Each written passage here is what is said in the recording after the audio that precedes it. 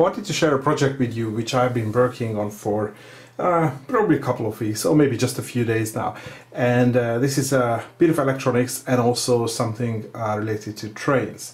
So what I have here is a Marklin um, central station and connected to this central station I have an accessory decoder which is a four channel servo decoder so this is um, pl I'm planning to use this to control my points on my layout and if you wouldn't know the the way Marklin implemented their digital train control system. The units like the central station or the mobile station and some of the other components, they talk over CAN bus and then once the at the the end of the CAN bus line there is a box which is built into this unit but uh, on a mobile station you have a different connector box. And that converts the the CAN bus messages to the messages which go to the track and to the you know the decoders and the trains and the locomotives everything. And I figured that well my ESP32 has a CAN bus controller.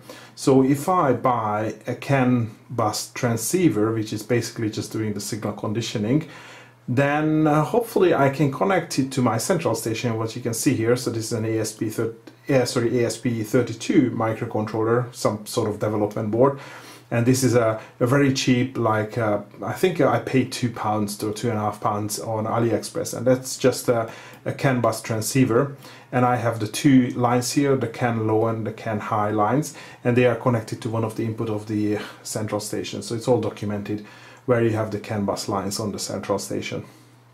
And the idea was that what if I can use this to listen to the messages and then maybe learn how, you know, what are the messages that are needed to control points. And if I can send the same messages, hopefully I can control my points as well. And actually, it has been much easier than I thought because uh, well everything here is you know pretty much standard the CAN bus is standard so you just buy off-the-shelf products and you can co uh, talk communicate on the CAN bus so I have the central station configured. So um, out of the two channels uh, I'm using uh, the first two channels. I only have two servos at the moment and I've configured it to listen on uh, DCC uh, channel 1 and 2 so the station number is, is 1 and 2 and you can see that if I toggle the point, then the servo moves. Um, for some reason it moves very little and I haven't been able to configure the, the, uh, the upper and lower limits, but you can see that I can control the servos from my central station.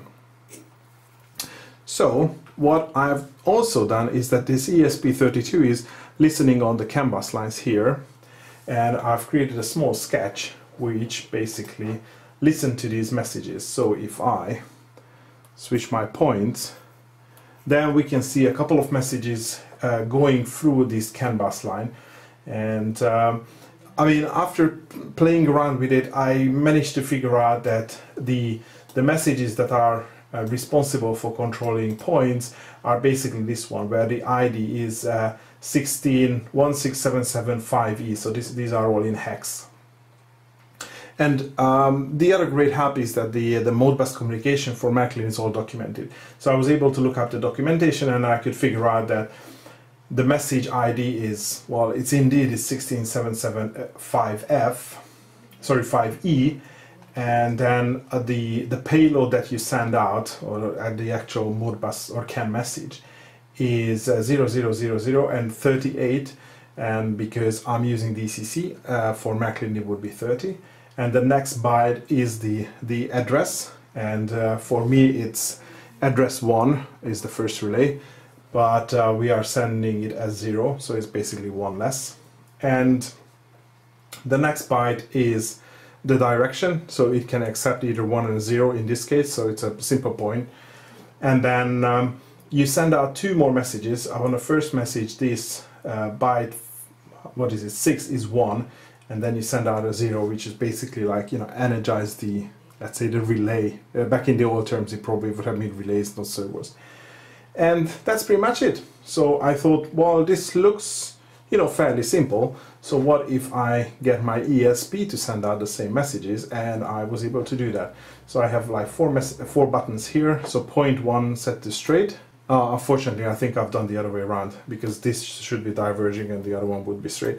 But you can see as I press the buttons, the servo moves and you can also see the central station display changing as I'm sending the messages. And I can do the same with the second servo or the second point.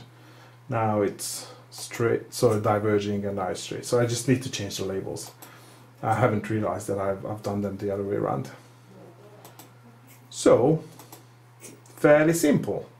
And the whole reason I'm doing all this project because I have an outdoor gauge one layout and I don't really like screens. So, for example, I don't use the, uh, the central station outside. I use a mobile station, and I want to be able to control points from a custom built uh, like layout where you have buttons, physical buttons. So I don't have to use a screen. So the idea is that I would have a second ESP32 where it would have all the buttons connected to it and then that would talk with this unit over wireless uh, just normal Wi-Fi and that would relay the messages onto the CAN bus so my controller is going to be wireless. I can just walk around with it over the um, around the layout and control my points. So that should be sweet. And based on this proof of concept well it's working like a charm so stay tuned for further project updates. I'm pretty sure that I will be posting a few videos on this one. And of course, once the, the code for this ESP gets a little bit mature, I will also put it up on GitHub. So you can do the same project if you want.